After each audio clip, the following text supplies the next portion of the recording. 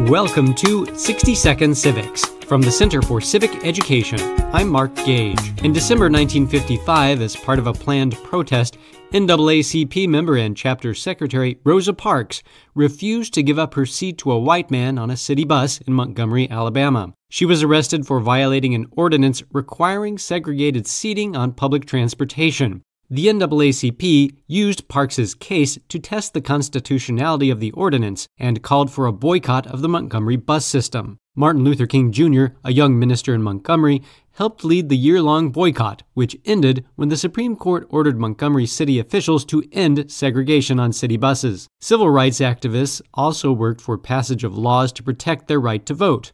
King, like Mahatma Gandhi, was an advocate of nonviolent direct action. King believed that the Supreme Court's decision to desegregate public schools could be implemented without rancor or bitterness if everyone had access to the ballot. That's all for today's podcast. The show's theme song is Complacent by Cheryl B. Engelhardt. You can find Cheryl online at cbemusic.com.